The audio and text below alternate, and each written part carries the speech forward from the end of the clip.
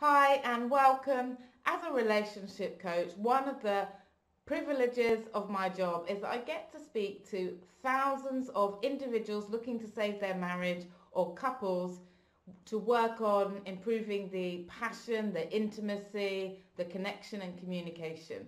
One of the things that comes up time and time again is phone usage. Are you on the phone too much? How much is too much? And how does somebody who is addicted to social media, addicted to being on their phone all the time, affect the relationship? And what can you do about it?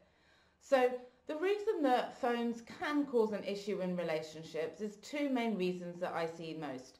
First of all, it can seem like your partner is not interested in you. There's a lack of attention where somebody is using their phone to fill up silences, to fill up boredom, to not really engage and connect to their husband or wife.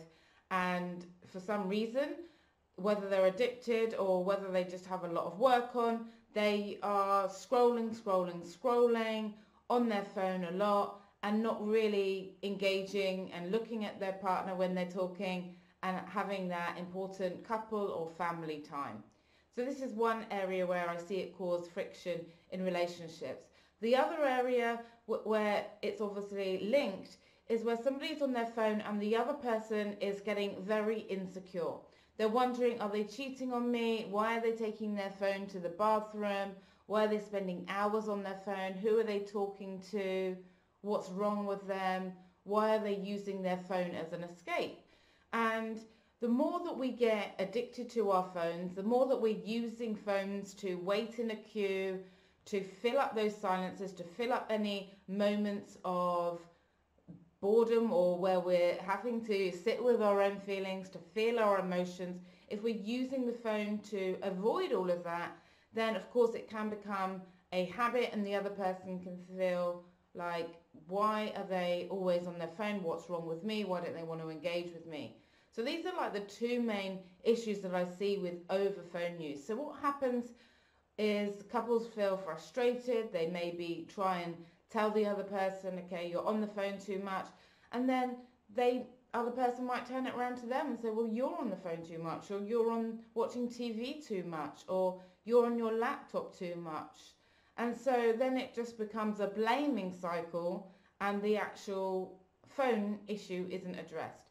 So you want to come up with solutions. If you're going to complain to your husband or wife, come up with some solutions. Say, you know what, I think it would be really good if over dinner we put our phones away.